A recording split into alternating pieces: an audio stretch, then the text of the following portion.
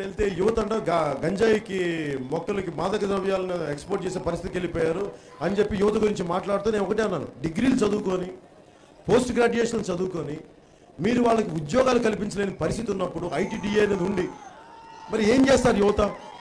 కుటుంబాలను పోషించాలా?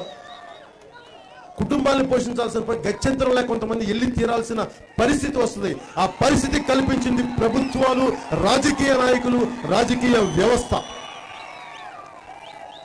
నేను యువతను తప్పుపట్టను. కొద్దిమంది ఉండొచ్చేమో యువత. కానీ మీరు అందరినీ ఏకదాటిని కట్టేసి యువతని పెడదామని పడుతున్నారని చెప్పి జనరలైజ్ చేసే మటుకు ఖచ్చితంగా వీళ్ళు నిలదీసి చొక్కా పట్టుకుని అడగాల్సి తప్పు మీరు చేశారు యువత చేయలేదు. మీరు. ముఖ్యమంత్రి గారు మీకు నిరుద్యోగ భృతి అనౌన్స్ చేశారు. మీకు ఇచ్చారా? మీకు మీకు అవి ఇవ్వరు. ఎందుకంటే జనసేనకి ఎక్కువ యువత వస్తుందని వెనక అనగానే వెంటనే ఆయన నిరుద్యోగ భృతి ఇచ్చేద్దాం అందరికి. అది కూడా ఏంటంటే మీరు డిగ్రీ చదవాలి డిగ్రీ ఫస్ట్ క్లాస్లో చదవాలి టెన్త్ మీరు పాలిటెక్నిక్ కోర్స్ అయితే పాలిటెక్నిక్ డిస్టి డిస్టింక్షన్లో రావాలి. మళ్ళీ అలా జరగకపోతే మళ్ళీ ఉండవు. మళ్ళీ దాంట్లో ఆడపిల్లలకి ఇక్కడ కూడా ఇందా చెప్తున్నాం. ఆ పూడిమడకలో కూడా. పద్దెనిమిది ఏళ్ళు ఉన్న అబ్బాయిలకే కానీ మళ్ళీ ఆ అమ్మాయిలకి లేదండి మరి. అమ్మాయిలు ఏం ఆడపిల్లలు ఏం పాపం చేస్తున్నారు? ఆడపిల్లలు ఏం పాపం చేస్తున్నారు? అక్క చెల్లెలు ఏం పాపం చేస్తున్నారు? వాళ్ళకి లేదు. ఇది అంటే ప్రతిసారి ఇందాక కూడా చెప్తున్నాను.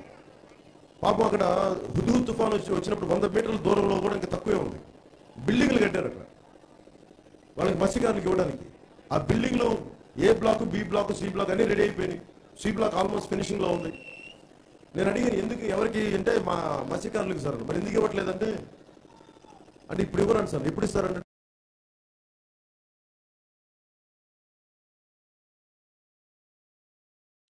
ఇప్పుడు ఎవరన్నా అది వాళ్ళకి ఓట్లేసి వాళ్ళకి మెజారిటీ వస్తే అప్పుడు ఇస్తారని లేదంటే అలాగే మరుగును పెట్టేసి లాకులు చేసి ఉంటాయి కానీ అంటే ప్రభుత్వాలు చూడండి ఎంత నీచంగా ఎంత దగుల్బాజీతనంగా ఎంత బ్లాక్మెయిలింగ్ ఎంత నీచంగా దిగజారిపోయే ప్రభుత్వాలు ఉన్నాయి చూడండి. అది తెలుగుదేశం ప్రభుత్వం ఏదైనా కానీ నాకు ఈ దగుల్బాజీతనాన్ని అరికట్టాల్సిన అవసరం మనందరికీ మీ అందరి మీద బాధ్యత ఉంది. అలాగే ముఖ్యమంత్రి గారు చెప్తారు మేము అన్నీ ఇస్తున్నామని చెప్పి.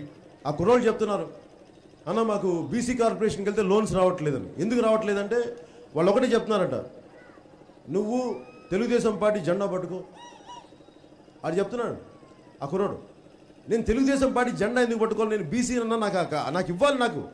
నేను నాకు నాకు నాకు అర్హత ఉన్నప్పుడు నాకు ఆ లోన్ ఇవ్వాలి. ఆ లోన్ ఇవ్వరు. ఎందుకంటే మళ్ళీ జన్మభూమి కమిటీ సిఫార్సు చేయాలంట. జన్మభూమి కమిటీ నలుగురు సిఫార్సు చేస్తే అప్పుడు ఇస్తారండి ఈ జన్మభూమి కమిటీలు అనేది ఒక దగుల్బాజీ కమిటీలా తయారైంది తప్ప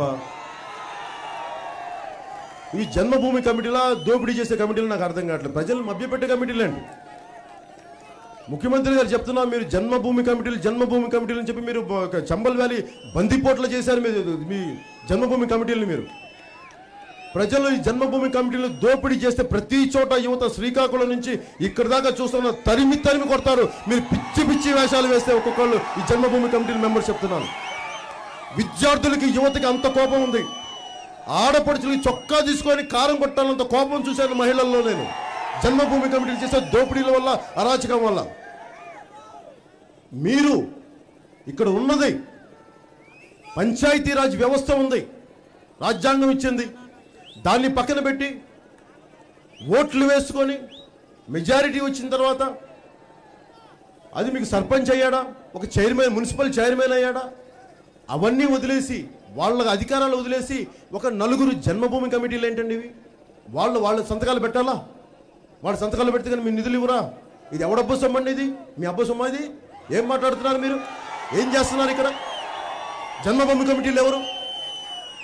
తిరుగుబాట్లు ఎందుకు వస్తాయి? విప్లవాలు ఎందుకు వస్తాయంటే ఇలా దోపిడీలు చేస్తేనే తలివి తలివి కొట్టే రోజులు దగ్గరలో ఉంటాయి అందరికీ ఇలాగే దోపిడీలు చేస్తూ ఉంటాయి. ఆగాలి మీరు. ఆలోచించాలి. ఇట్లాగే చేసి చేసి కదా మీరు తెలంగాణ తరిమి కొట్టుకుంది తెలుగుదేశం పార్టీ. సిగ్గుండాలి మీకు. ఆలోచించాలి. నేను నిజంగా ముఖ్యమంత్రి గారిని చాలా ఆశించాను. పది సంవత్సరాలు పాలనలో లేరు. అనుభవం ఉన్న వ్యక్తి. అంతకుముందు రామారావు గారికి వెన్నుపోటు పొడిచారు ఓకే అది నేను వదిలేశాను సంగతి? నాకు తెలీదా? ఈ రోజున మాట్లాడితే ఎన్టీఆర్ సుజలా స్రవంతి అంటారు. నీళ్ళు రావట్లేదు అక్కడ సుజలా స్రవంతిలో. ఎందుకు వస్తాయి? ఎన్టీ రామారావు గారి మీద గౌరవం ఉంటే సుజలా స్రవంతిలో నీళ్ళు వస్తాయి. గౌరవం లేనప్పుడు నీళ్ళు రావు. పథకాలు గుండెల్లో వచ్చి రావు. చిత్తశుద్ధిగా ఉండవు. అందుకే నీళ్ళు రావు. నాకు అర్థం కాదు. మాట్లాడితే వీళ్ళు కూర్చోబెట్టి ఏంటండి? వీడియో నచ్చిందా? అయితే ఓ లైక్ వేసుకోండి. లేదంటే ఓ కామెంట్ చేయండి. ఎప్పటికప్పుడు మా వీడియోస్ చూడాలంటే సబ్స్క్రైబ్ చేసుకోండి.